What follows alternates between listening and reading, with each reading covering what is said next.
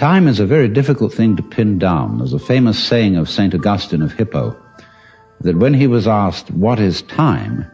he said, I know what it is, but when you ask me, I don't. And yet it seems absolutely fundamental to our life.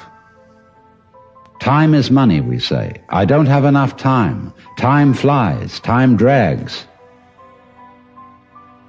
And I think we should go into the question of what this is because in our ordinary common sense, we think of time as a one-way motion from the past through the present and on into the future.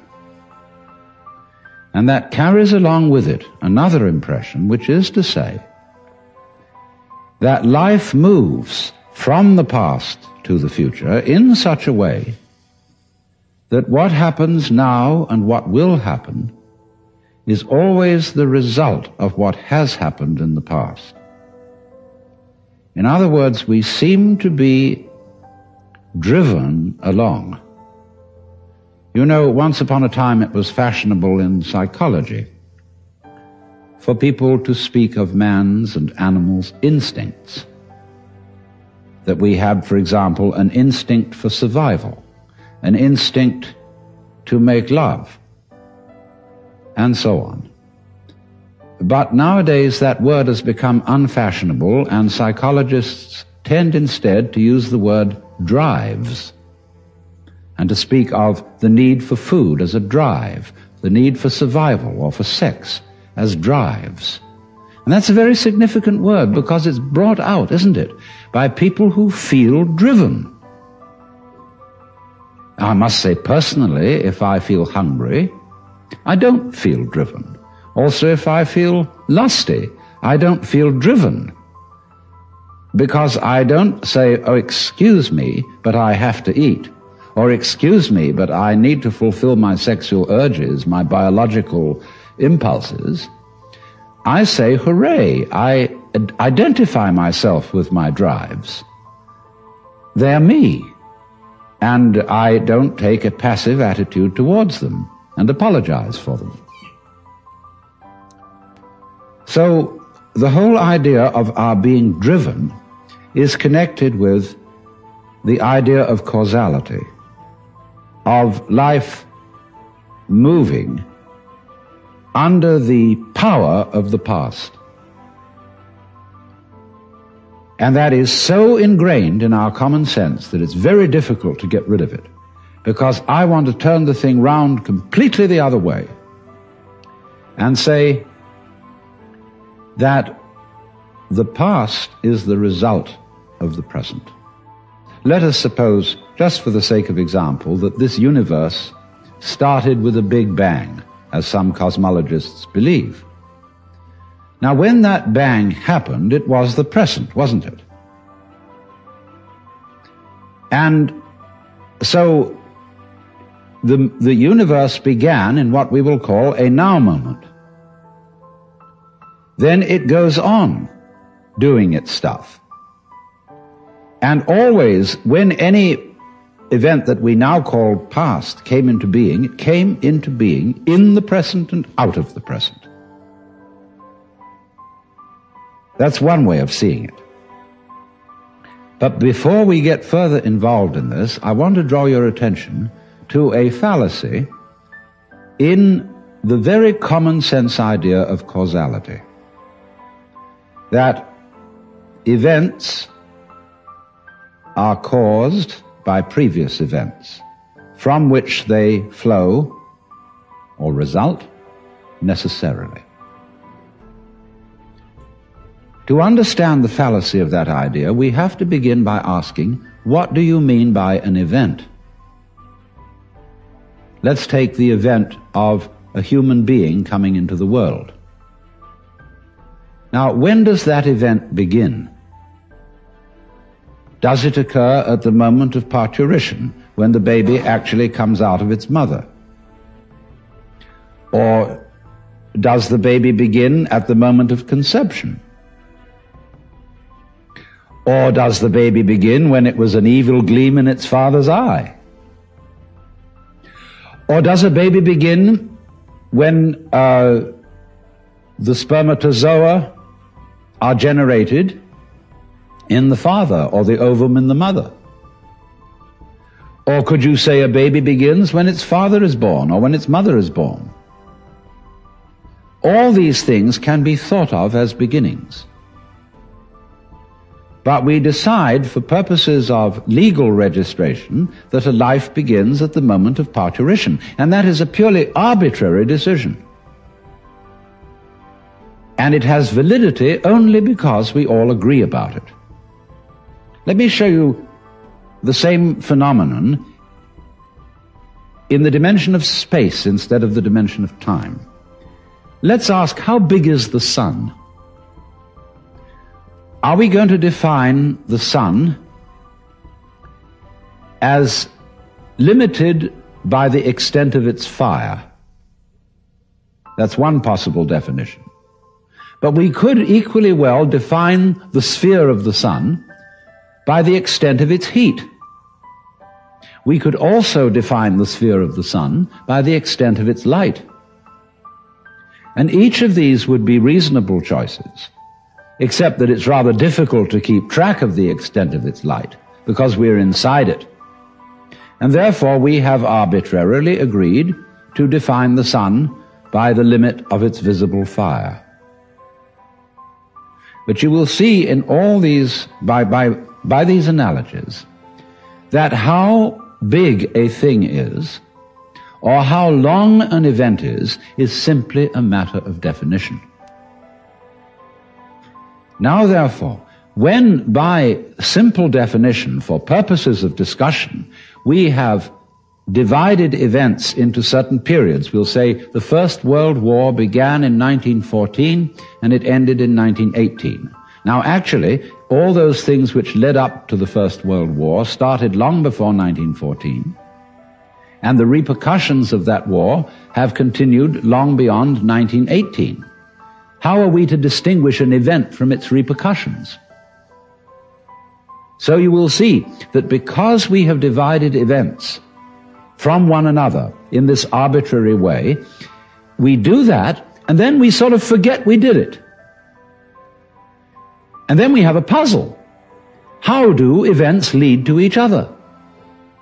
Because you see, in reality, there are no separate events. Life moves along like water.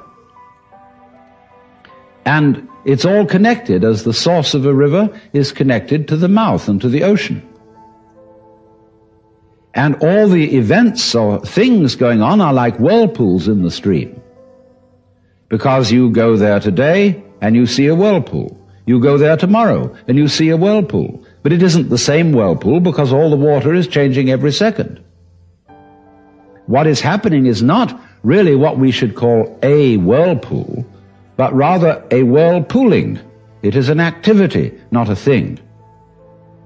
And indeed, every so-called thing can be called an event.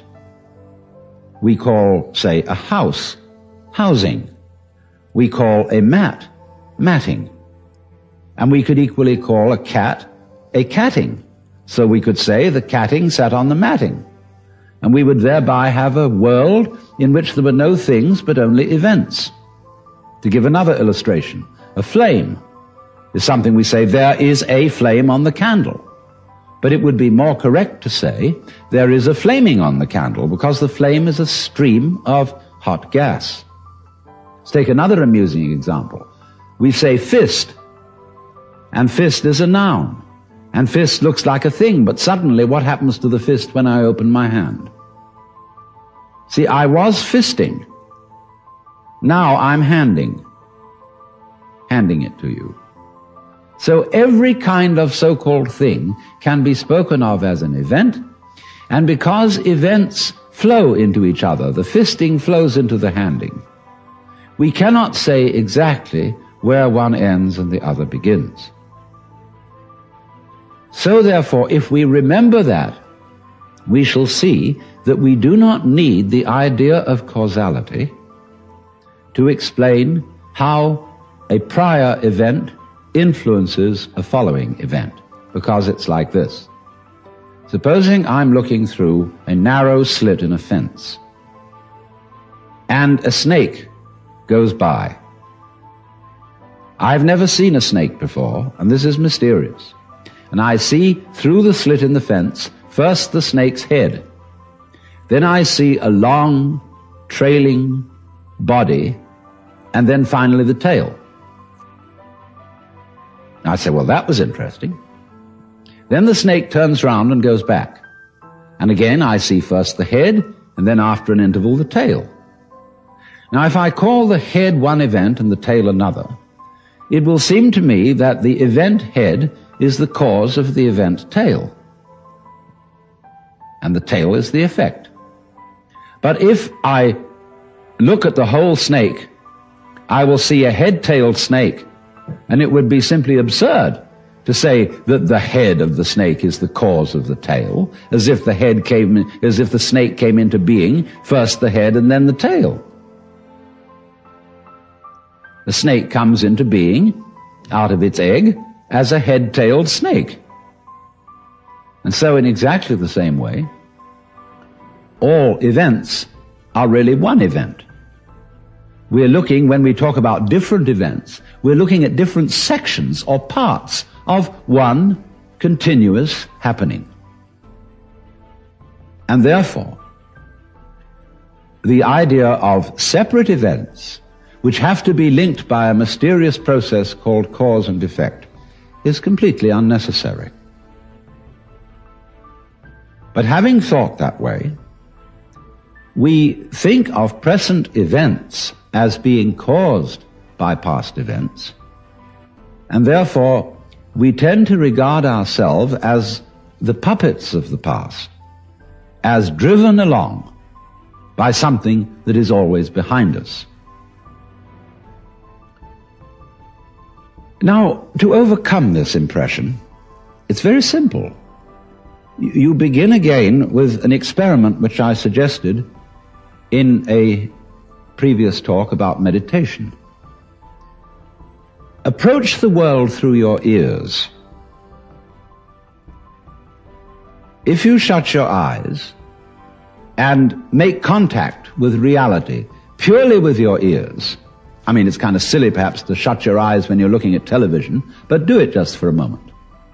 And you will realize that the sounds you are hearing are all coming out of silence. You hear